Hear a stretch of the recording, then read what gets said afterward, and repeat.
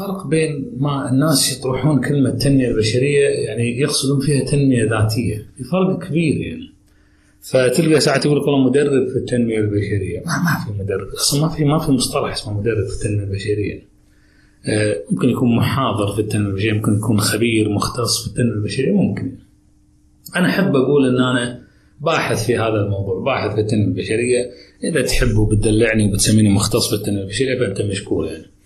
لا فالجانب تنمية بشرية كبير يحتوي تنمية ذاتية وغيرها يعني. أنا بعض الناس يقصد تنمية ذاتية بالإنجليزي يسمونها personal development فرق بين human development. التنمية البشرية أو في المصطلح العربي يسمونها في التقارير يقولون تنمية إنسانية. التنمية البشرية والتنمية الإنسانية هي مفهوم عام كبير. يشمل التالي يشمل الصحة يشمل المعرفة يشمل الحكم.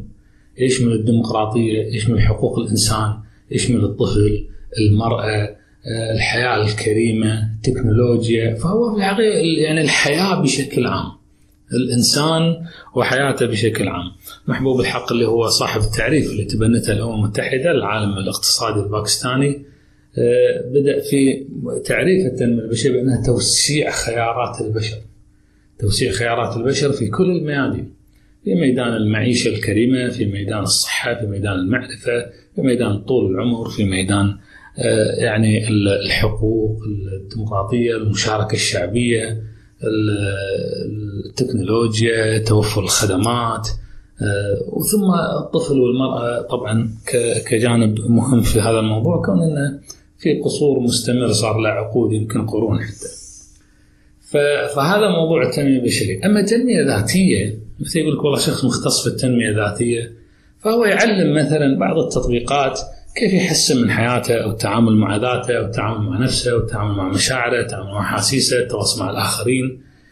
فهذا تخصص موجود الناس اليوم الدربة في المراكز وكذا ويدرس في الجامعات كذلك أحيانا ما يسمونه يمكن ربما بهالمصطلح لكنه موجود من ضمن السيكولوجي ولا من ضمن ال communication أو personal communication الاتصال الشخصي.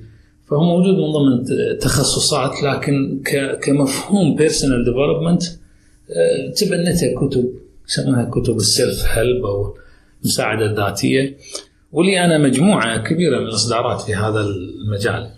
فهذا تنمية ذاتية وهذيك تنمية بشرية.